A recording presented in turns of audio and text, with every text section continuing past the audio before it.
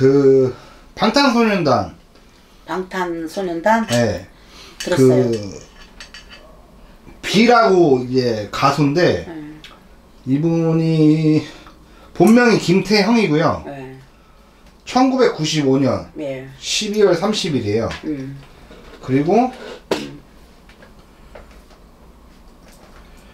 어 제니 예. 이름도 제니예요. 이름도 제니?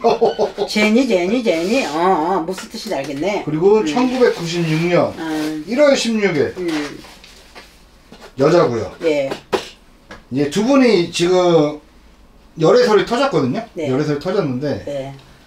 진짜인지. 진짜예요. 아 그래요? 내가 봤을 땐 진짜예요. 뭐 자기들은 아니라면 나는 할, 할 말이 없지만 무당이 영적으로 봤을 땐 진짜예요. 둘이 궁합이 잘 맞나요? 혹시? 아니요.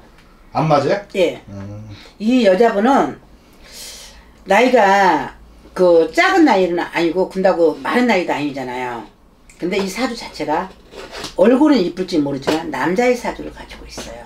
그래서 웬만한 사람이 이 여자분한테 접근했다가 싸대기 맞고 가는 거예요. 그만큼의 아니요. 이 여자분이 내가 봤을 때는 남자 그 문제로 되게 문란하게 보여요. 그쵸? 뭐 난 모르니까 보라니까 보는 거예요. 되게 문란하게 보이지만 나는 그렇게 보지 않아요. 왜 그렇게 안 보냐면 자기가 원했던 성격에 자기를 채워줄 수 없는 남자를 만났기 때문에 이 여자분께서 남자를 갈아 채우는 거지 누구 말대로 잠자리가 필요해서 어 채워 저기 저, 그 남자를 바꾸는 건 아니라고 생각 들어요. 그리고 이 여자분이 되게 당차요. 아까 남자 사주 가 갖고 있다 그랬죠. 하늘의 별이 되라는 사주 남 남자를 떠났으며 되게 당당하면서 이 여자분이 되게 애로운 사주를 가지고 있어요. 그러니까 사람들이 봤을 때는 화려한 모습만 보지 이 뒤에 애로운 모습은 보지를 못한다는 뜻이지. 그러니까 여자분이 아마 경제적인 면이나 면이나 다른 면에는 아무 부족함이 없을 거예요. 이 여자분께서 나이 어리시지만 그런데 자기를 만족해 줄 수 있는 남자분을 아직까지 못 만났다는 것. 아무리 제 아무리 유명한 누구를 데려다 놔도 이 사람이 그 우리가 봤을 때는 스타지 이 사람이 봤을 때는 만났을 때 애인 관계 만났을 때는 그 사람은 스타가 아니라는 거지 그냥 한 남자에 불과할 뿐이라는 거지 어? 그렇기 때문에 좀 안타깝습니다 응? 만약에 이 두 분이 열애설이 있다 친들 어, 또 오래 못 갑니다 어? 왜? 여자가 웬만한 남자 눈에 안 찬다고 이야기했잖아요 제 아무리 스타더라도 무슨 말인지 알겠죠? 그래서 저는 여자만 욕하죠 욕하고 싶지 않아요 제니 씨 화이팅. 누군지 모르지만 진이가 아니고 제니입니다. 제니 씨 화이팅. 누군지 모르지만 화이팅. 그리고 겉으로 그 이름만 있잖아요. 그냥 일진, 여자 일진. 성격은 그런 성격이에요. 그러나 속에서는 너무 애로운 마음.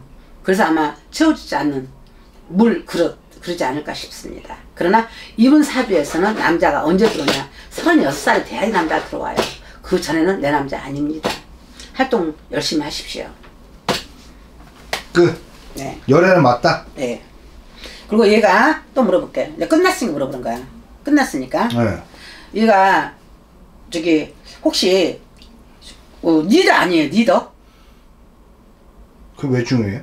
아니 보다가 이제 끝났으니까 물어보는 거야. 자꾸 리더로 보여서 한 그 그 그 머리 끌고 난 리더로 보였어.